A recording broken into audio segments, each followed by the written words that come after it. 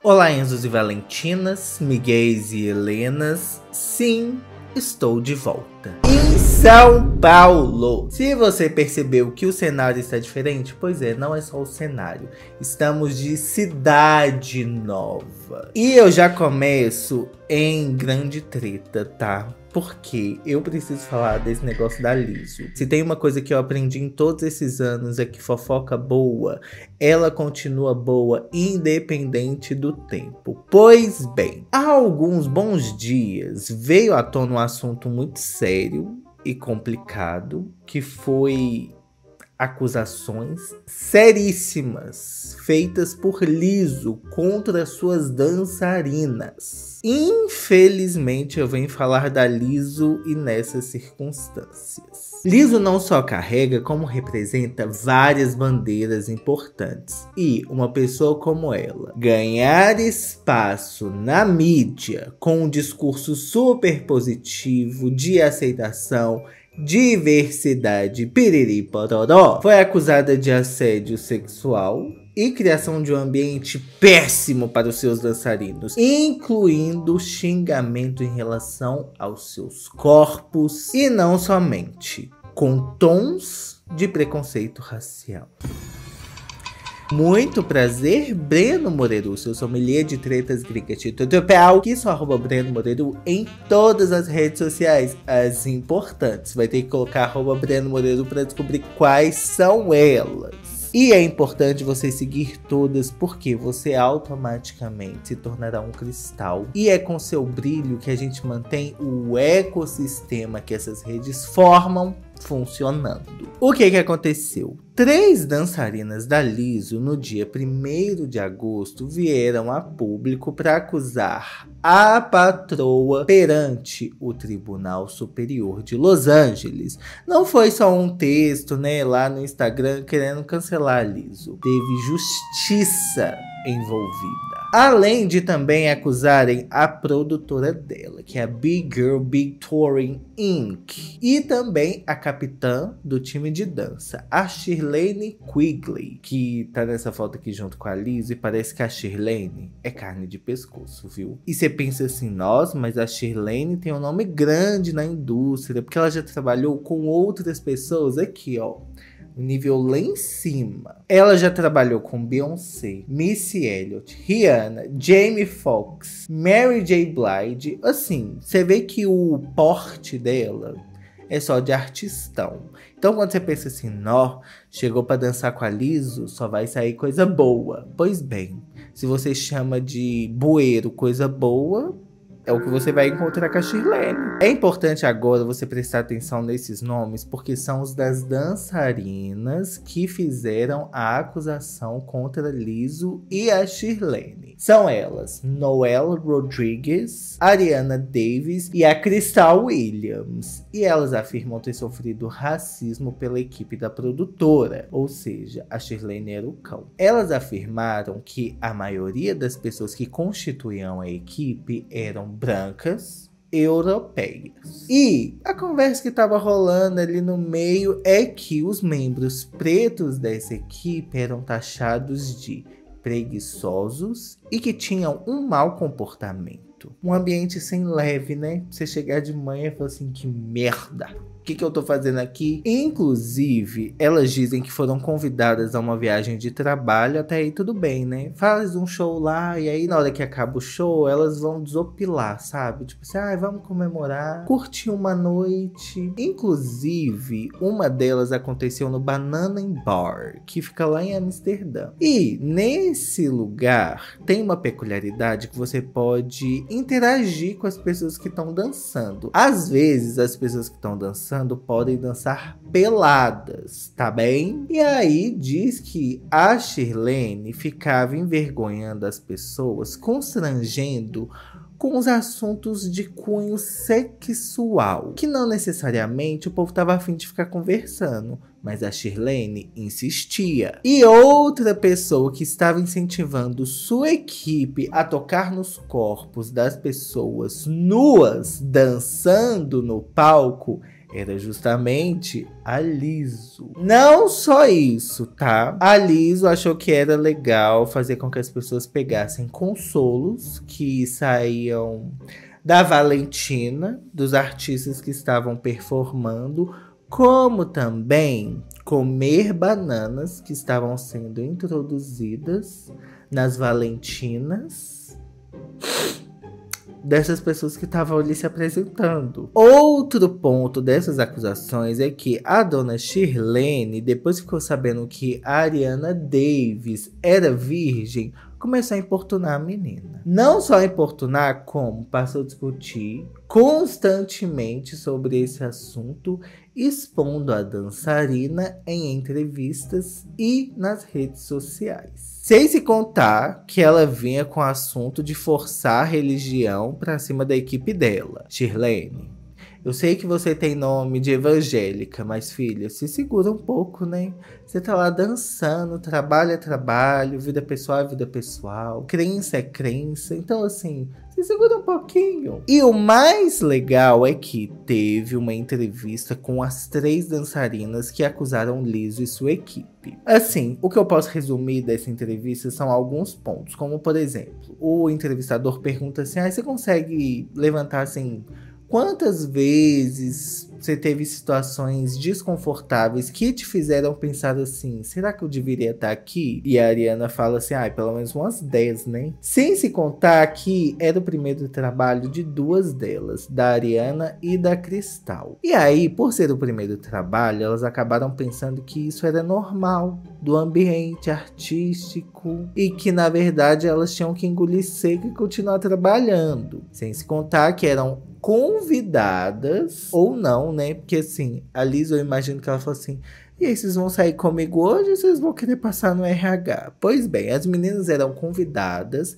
a frequentar lugares. Beleza. Quando chegava lá, o lugar estava com muita nudez. Nudez essa que não foi conversada antes delas chegarem lá. E ninguém é obrigado, né? É bom ter um pouco assim de informação antes de chegar nos lugares. E quando elas tentavam reclamar sobre tudo que estava acontecendo, elas recebiam respostas ainda piores e cada vez mais agressivas. Não só isso, também rolou uma falta de pagamento. Umas recebiam o adiantamento, outras não, e vai se criando um clima terrível. E tentaram falar diretamente com a Liso.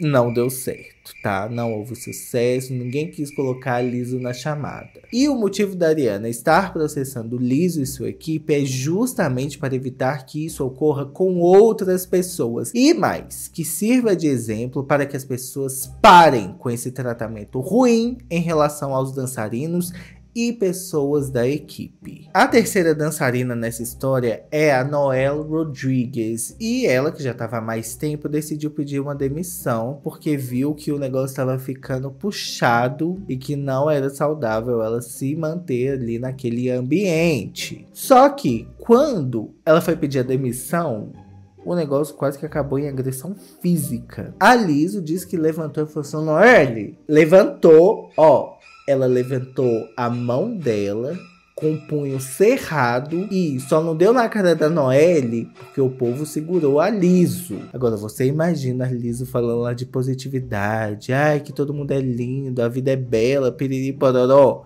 querendo dar um soco na dançarina? Liso. Por outro lado, as duas dançarinas mais novas foram demitidas. A Ariana foi demitida em maio por ter gravado uma reunião em que Liso teria dado notas aos dançarinos sobre seus desempenhos nas apresentações. Enquanto que a Crystal Williams, que provavelmente é um cristal aqui do nosso ecossistema, ela foi demitida sob o motivo de cortes orçamentários. Mas sabe o que é o mais estranho? Só ela foi demitida. O povo continuou lá. E se a menina era novata, que orçamentos são esses que eles estão tentando economizar tirando a novata? E somente uma novata, a Liso, não aguentou calada. E a Shirlene também não. As duas postaram seus bons textões no Instagram para se retratar sobre essa história ou não. Por quê? A Liso postou um monte, acho que foi um carrossel com quatro, cinco páginas de texto. E aí, eu sinceramente achei a da Liso mais escorregadia do que sabonete. Não falou das acusações, simplesmente falou assim: gente, não é culpa minha. Eu estou fazendo meu trabalho, às vezes tem que tomar decisões difíceis, mas vou estar tomando assim mesmo e tudo tal. Não falou sobre as acusações, apenas quis tirar seu corpo fora. E assim, cinco páginas de texto e não rebater nenhuma das várias acusações, liso você não é inocente. Por mais que a gente não queira acreditar. Sem se contar que a Shirlene já começa assim, ai, com o coração pesado, fia. Shirlene. E postou mais um textão. Eu não compro, tá? Sem se contar que teve também um episódio de gordofobia. E essa gordofobia veio por parte da Liso. Sim, ela que já teve o Instagram e o Facebook removendo comentários maldosos de seus posts, agora pratica ali nos bastidores. Abre aspas. As falas de Liso deram a entender que a dançarina, Ariana, não estaria se comprometendo o suficiente com o seu trabalho, já que teria ganhado peso. Isso deu a impressão para Ariana de que ela precisava explicar seu ganho de peso e revelar detalhes pessoais íntimos sobre sua vida para manter seu emprego. Sabe quem disse isso? O advogado da Ariana. Yeah. Sem se contar que dava louca na Liso do nada e uma certa vez, ela submeteu toda a equipe dela a passar por uma nova audição excruciante. Excruciante quer dizer dolorosa. Por quê? Isso aconteceu lá em abril, depois da Liso ter acusado seus dançarinos de estarem bebendo demais antes dos shows. A Ariana ainda acrescenta que eles estavam proibidos de usar o banheiro durante todo esse tempo das novas audições de emergência. Abre aspas. Ela estava com medo de que, se deixasse o palco a qualquer momento durante a audição, seria demitida e eventualmente perderia o controle da bexiga. Ai, gente, que horror. E pior, viu? Depois que vieram as dançarinas falar sobre esse assunto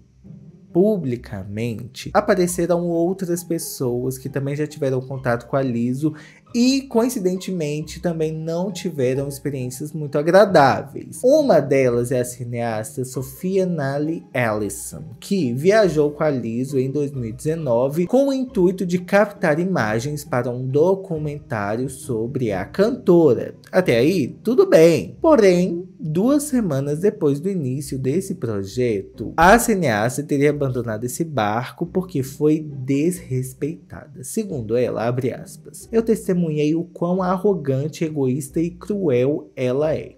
Eu não me sentia protegida e fui jogada em uma situação horrível com pouco suporte. Meu espírito disse para correr o máximo possível. Acho que é a intuição dela. E eu estou muito grata de ter confiado na minha intuição. Era isso mesmo. Fecha aspas.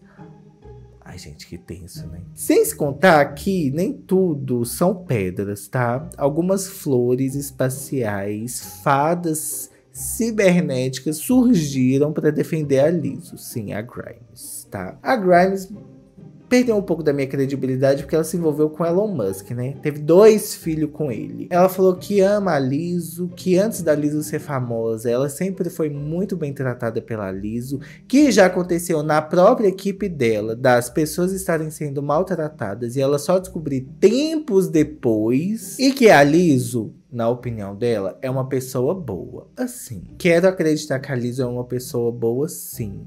Mas não é, Grimes, que porque aconteceu com você, que ela vai ser sempre simpática com todo mundo, né? A Beyoncé, gente, a Beyoncé, que male male se pronuncia sobre as coisas, também deu a contribuição dela para esse barraco. Foi o seguinte, a Beyoncé não falou exatamente, tá? Ela deixou de cantar sobre o assunto.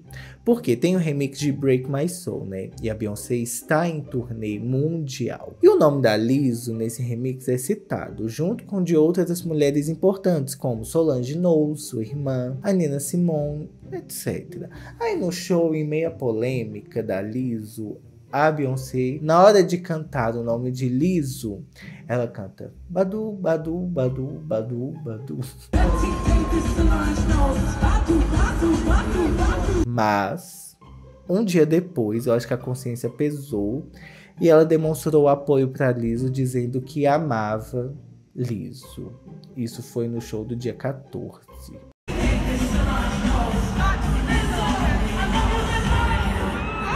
Só que a coisa vai ficando cada vez pior porque mais gente tem aparecido para comentar sobre esse assunto do tratamento nos bastidores. A Queen era diretora criativa da Liso e ela falou sobre o assunto lá nos stories. Colocou o seguinte: só para esclarecer, eu não estou fazendo parte desse processo, mas essa foi basicamente a minha experiência enquanto estive dançando para Liso. Dou todo o meu apoio às dançarinas que tiveram a coragem de falar publicamente sobre isso. E a Queen é namorada da King Princess, que também deu sua versão da história. Ela falou que assistiu a Queen ser menosprezada recebeu um pagamento que não era de acordo com o porte dela, maltratada, justamente por pessoas que têm mais dinheiro e mais poder social do que ela. Enquanto que o grupo atual de dançarinos da Liso lançou uma nota, uma carta aberta demonstrando seu apoio. Já para se defender das acusações na justiça, a Liso correu atrás de um advogado que tem um portfólio, né, um currículo que já conta com experiências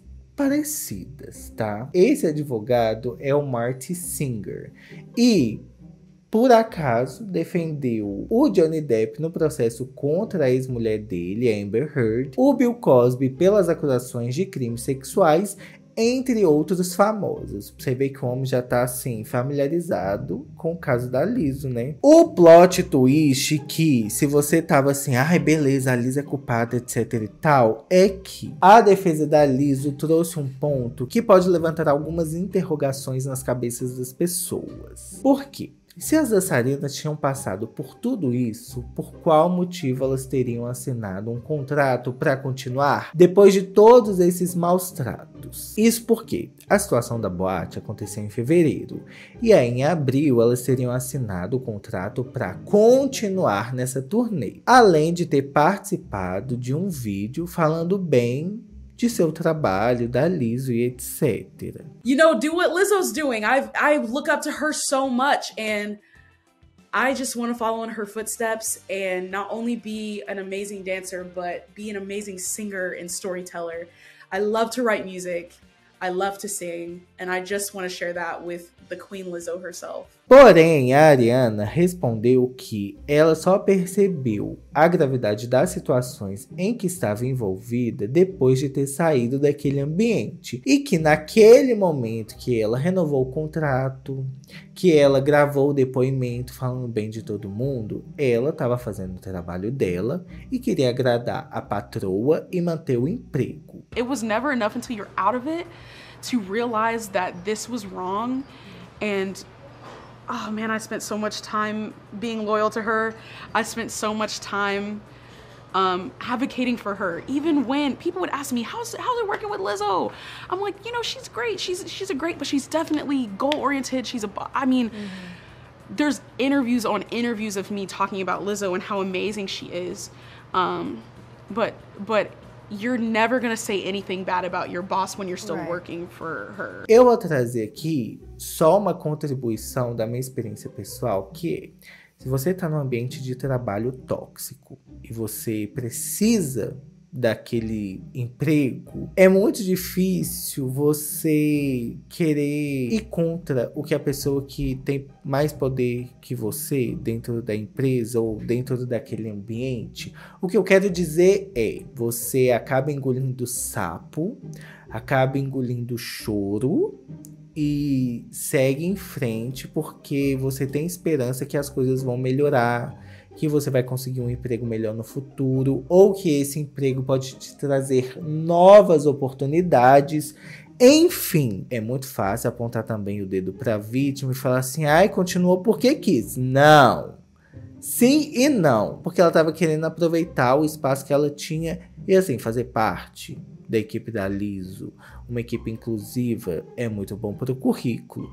Não sei depois desse processo, mas até aquele momento era muito bom, sim. E depois de tudo isso, a Liso foi vista entrando em um estúdio e disse que estava bem, preparando música nova, relax, tranquilíssima, nem parecia que estava sofrendo um processo judicial. Por outro lado, não adianta manter a banca ou o sorriso porque liso a casa tá caindo, tá? As negociações de que ela estaria sendo cotada para o Super Bowl do ano que vem parece que estão em suspensão, em pausa, justamente por causa das acusações de assédio. Sem querer tacar mais lenha nessa fogueira, mas não é de hoje que a gente ouve acusações de assédio por parte da Liso. Eu procurei no Google assim, Liso assédio sexual ou simplesmente assédio em inglês.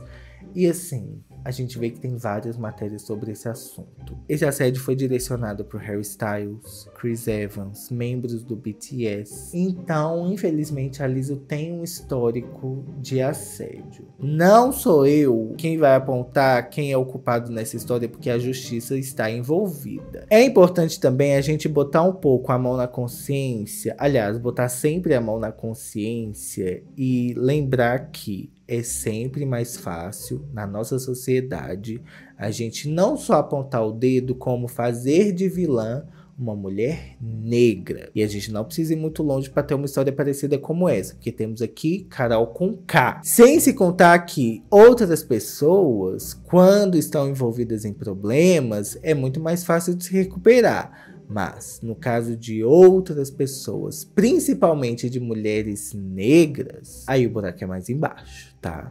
Nem sempre elas têm a oportunidade de se recuperar, de serem ouvidas e às vezes é até impossível.